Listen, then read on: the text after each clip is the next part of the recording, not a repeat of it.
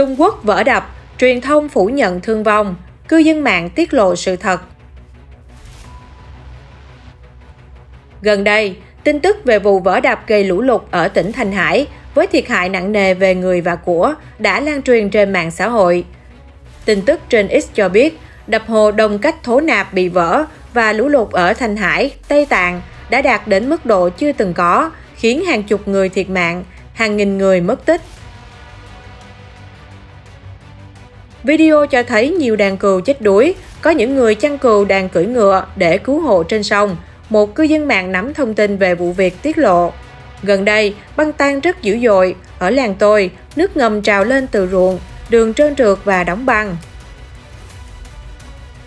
Một người khác cho hay, vào giữa tháng 2 năm 2024 đến cuối tháng, khu vực xuất hiện đợt ấm lên bất thường, nhiệt độ ban ngày vượt quá 0 độ C, khiến một phần băng bị tan chảy. Hồ chứa đồng cách thố nạp bị vỡ, đã chảy ra một lượng nước lớn. Tuy nhiên, lúc này lòng sông và đất xung quanh chưa tan băng hoàn toàn, nước khó thấm xuống. Con sông lúc này trở thành lối thoát chính cho phần lớn nước tan chảy từ băng, cuối cùng hình thành lũ lớn.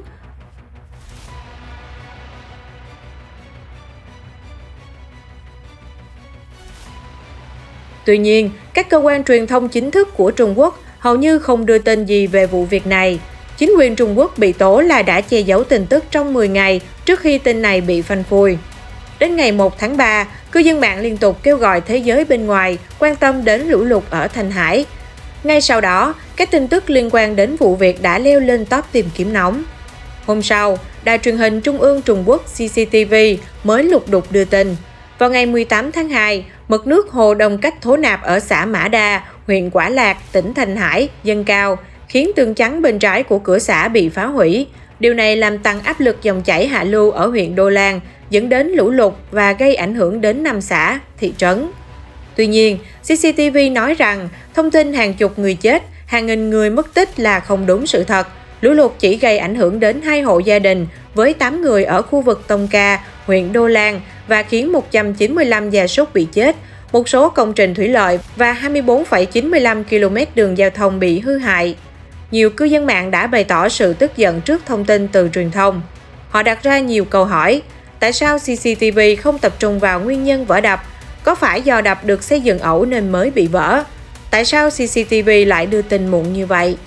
Có phải chính quyền cố tình che giấu thông tin? Nhiều người cũng đặt câu hỏi về việc ưu tiên đưa tin. Tại sao một sự việc nghiêm trọng như vậy đến giờ mới lên top tìm kiếm? Tại sao những tin tức về người nổi tiếng lại được lên top nhanh chóng? Sự việc xảy ra từ ngày 18 tháng 2 nhưng đến giờ mới thông báo là do bị dân mạng phanh phui.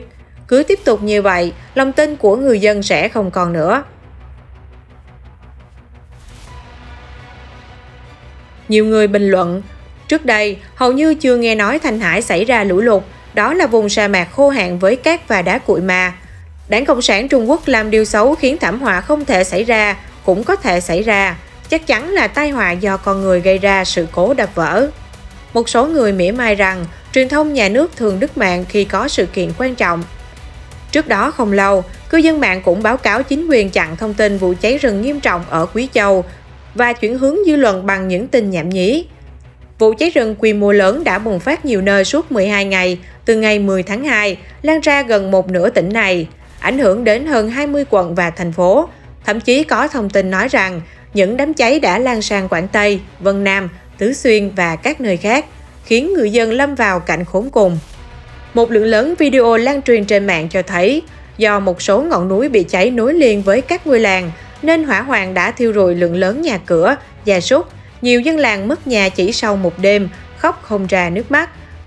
Có người tiết lộ, gần nhà họ có tới 5, 6 ngôi làng bị thiêu rụi, thậm chí ngôi làng của họ cũng bị bao vây bởi ngọn lửa, khiến người dân ra vào làng rất khó khăn.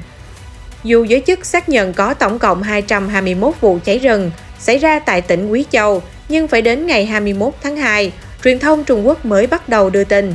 Và các kênh truyền thông cũng chỉ đưa tin rời rạc về vụ việc này và sử dụng cụm từ giảm nhẹ khiến người dân tưởng rằng chỉ có một số địa điểm bị cháy và ngọn lửa đã được kiểm soát.